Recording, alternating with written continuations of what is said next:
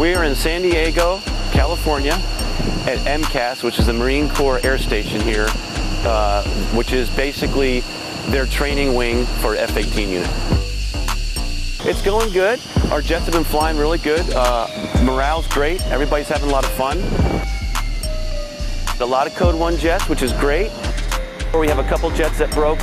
Weird breaks, but we got the best maintainers here. They got the experts working on it, and uh, we're just making it happen. So one jet's already good, and we'll get this other jet repaired before we go home. If you ever have an opportunity to come to a TDY, uh, especially to a, a, different unit or different uh, service, great, great experience. It's great to meet uh, and see what other people do, other units do. But all in all, what a great experience, and, and you can have a lot of fun doing this.